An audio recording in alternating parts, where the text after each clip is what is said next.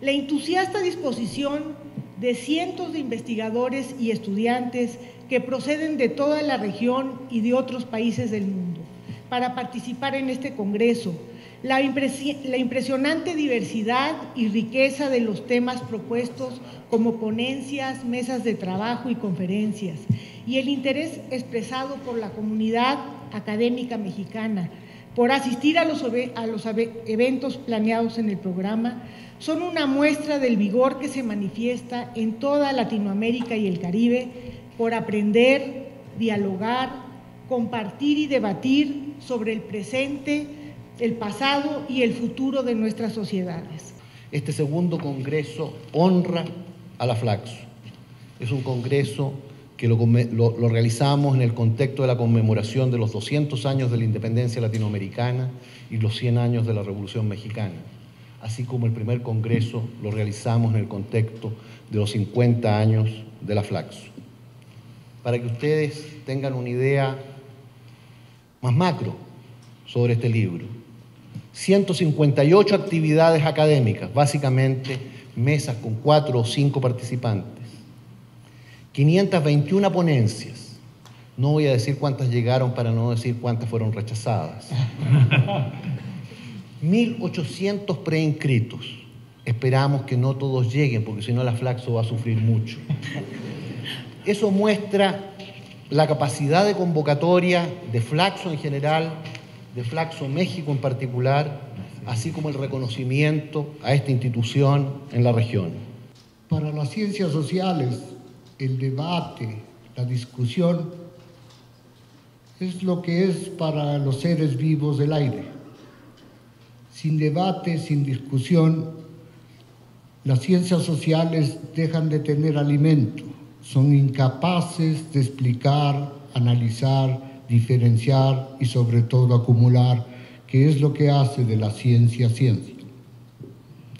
Por ello, tener la oportunidad de participar y trabajar en un congreso, en un amplio espacio en donde se debate un sinnúmero de ponencias, como nos ha mencionado el secretario general, un 1.500 o más interesados en participar, refleja, por un lado, esa necesidad de los cientistas sociales de discutir y debatir y por otro lado la capacidad y seriedad del espacio en donde se va a discutir y debatir.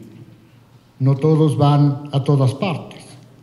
La visión comparada de procesos con el referente de los, de los países de la región propio de la producción científica de la FLASO es una cualidad que ha aportado densidad al debate mexicano, bien intenso, y que a su vez ha permitido que los tomadores de decisiones dimensionen los retos contemporáneos que enfrentamos todos. La propuesta de una red articulada de instituciones dedicadas al campo de las ciencias sociales con una vocación latinoamericana y caribeña, pese a coyunturas difíciles, ha ganado, como hemos visto, en estabilidad, prestigio e influencia. Los alumnos y egresados de los posgrados las investigaciones de frontera y la amplia tarea de difusión y vinculación explican sobradamente que la Flaxo goce actualmente de un amplio reconocimiento entre las comunidades académicas de nuestros países. Este numeroso grupo de expertos dedicará intensas jornadas a lo largo de los próximos días al debate y estudio de los principales temas relacionados con el desarrollo de nuestra región. Esta reunión en México no podría ser más propicia toda vez que se realiza en este año 2010, en el que México, junto con otras naciones latinoamericanas, conmemora dos siglos del inicio de la lucha de nuestros antepasados para sumarnos al concierto de naciones libres. Estoy plenamente convencido que este Congreso que hoy nos convoca ahondará en todo ello y sin duda logrará claridad y generosidad en sus conclusiones para contribuir con su reflexión a superar los grandes retos que enfrenta nuestra región. Por ello, y siendo las 18 horas con 30 minutos de este día 26 de mayo del año 2010.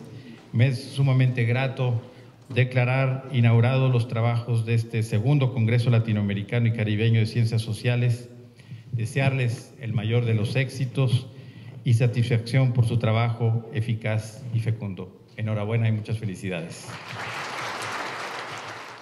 Es realmente un honor tener la oportunidad de estar presente en la inauguración de este Congreso aquí en la Cancillería de México los estudios de los errores de la política económica al inicio de la Gran Depresión de los años 30 nos ayudaron de una manera decisiva en evitar una depresión de la misma magnitud o peor en, 2008, cuando el descenso en el comercio internacional superaba con mucho el de 1930 a 33.